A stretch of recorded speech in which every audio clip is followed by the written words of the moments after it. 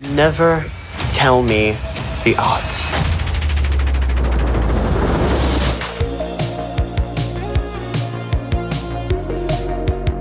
Um, Winona and Brett, uh, honestly, Joyce and Murray is the delightfully unexpected buddy movie road trip uh, pairing that I did not know I wanted and that I needed.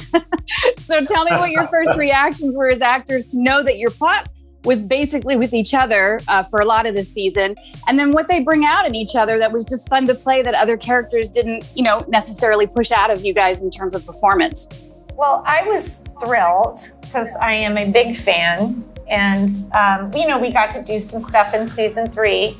And it was just a joy. Um, it, it was, you know, it was wild. We, we were in Lithuania and we were in an intense atmosphere and very sort of spontaneous. Our characters didn't know what was coming next.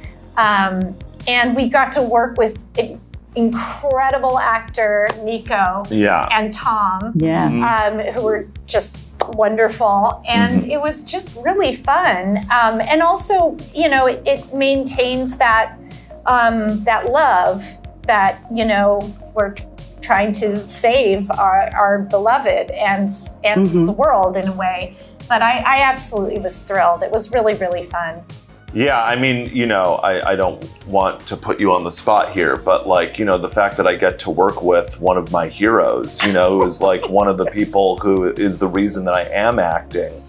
Uh, and, and, you know, somebody who I get to learn from, you know, I learned from watching her performances before I started doing it professionally. And then, uh, you know, and when I work with her is just like a tremendous thrill. And the fact also that, you know, I got to know her even better this season. I mean, we became friends in season three, but like I even closer in season 4 and that has been one of the great joys of my life.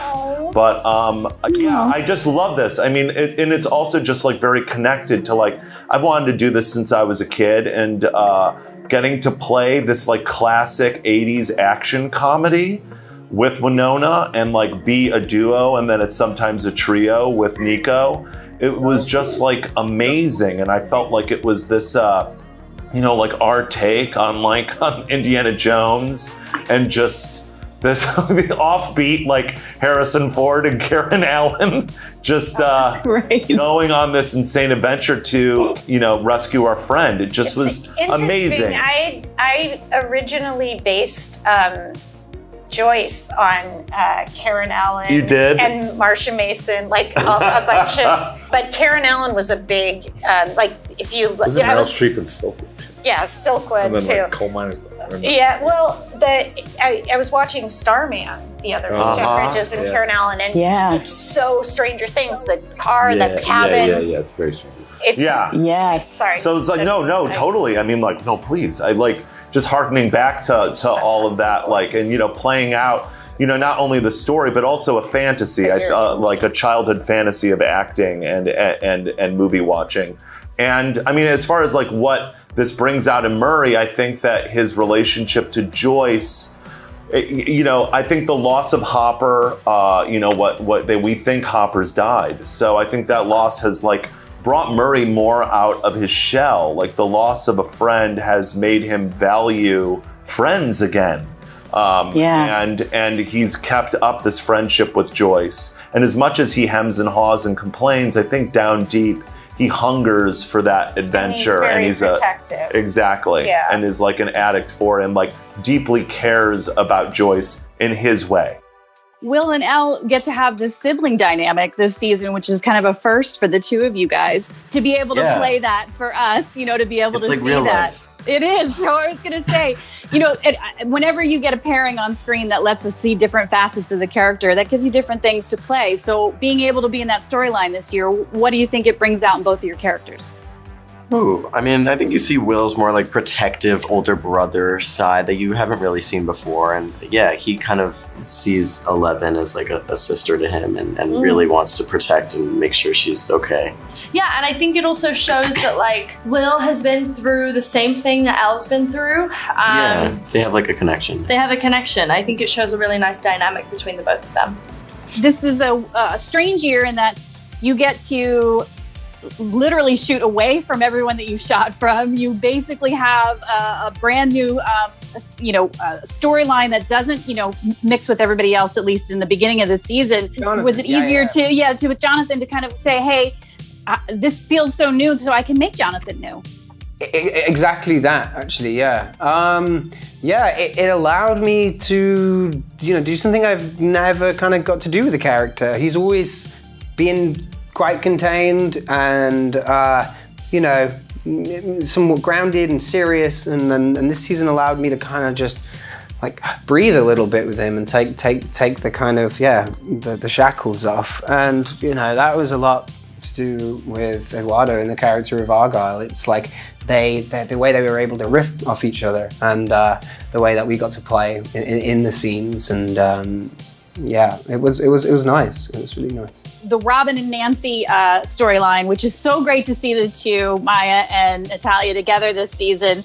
Um, I wanted to know, you know, having played the characters um, it, with other characters, you always get something new when you play different dynamics. So, what do you think came out um, from both of your characters of being able to play against each other? Oh yeah. I mean, it's um it, like Robin and, and Nancy just on paper are so wildly different characters in a way. They're both intelligent, uh, strong female characters, and that kind of cuts through everything. Um, you know, there's there's strong mutual respect. Like Nancy's very kind of like has her methodology and she's pretty straightforward and like, you know, logic. But I think Robin is such an out of the box thinker um, that kind of helps, you know, I think for Nancy it's like such a different perspective that is really um, helpful and new. Yeah, and I think Robin really admires Nancy's like ability to watch out for other people and like that powerful generosity of spirit and love and also this kind of grace um, that I feel like Robin is going through a period of insecurity or interest about about like what are the different ways I don't know like how, how to how does Nancy do it? Like you know how does she how does she do it all and make it look so easy. And then I think as getting to know Nancy Robin sort of starts to understand that like it isn't all as easy as it looks. And and that there's kind of positives they both things and they both have a lot to learn from each other and gets kind of more confident through that relationship i think. Joe, I do have to ask, you know, Steve's been through a lot of stuff and yeah, he's still in Hawkins. Um, what's where's he going this year? Is this going to be his self-discovery season of who he wants to be and where he wants to be, whether it's in or out of Hawkins? He's going up. He's going nowhere but up. Uh, uh, no, I think, um, yeah, I think that his whole arc is kind of about self discovery. And I think in Robin, their relationship has kind of become this safety sort of blanket and this place where we get they can really be themselves and advocates for each other. So I think something that I I really enjoyed is kind of playing that, you know, because last last season was about our characters kind of getting to that place. So now it's actually about sort of seeing that relationship in fruition. So that was really fun to play. Um, and then just also interacting with new characters brings out new uh, elements of these characters that we've come to know. So like interacting with Joe was kind of fun because it put Steve in a new light for me. Um, and so yeah, that was really fun too. Uh, so I wanted to ask Gaten and uh, Erica.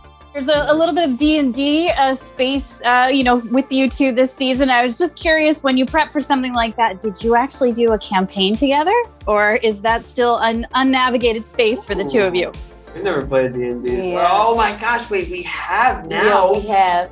recently With- because of press. Like Yeah. we did a press. And I never like- thought I would be into D and D like Yeah. ever until we played we played it for press. It was like two, it was a two hour. It like it's not was. so long for like a normal D and Yeah. D campaign, but like we that was really cool. I didn't It know we were gonna do yeah, that. It was pretty fun. Like Yeah. when I I didn't know much about it, but when I actually like played for myself It was fun. in real time, it was fun and like the Yeah. whole storytelling and using your mm-hmm. imagination. Yeah, it takes me to get used to. But Yeah. then it's, mm-hmm. it's oh, I love it. I've played a couple of campaigns with some friends, but nothing What's- like that. That was like Yeah. Played real campaigns with your friend. I have before. I did like online ones. That's fire. It is pretty great. Yeah, it was you, me, Joe Quinn, and Finn. Yeah.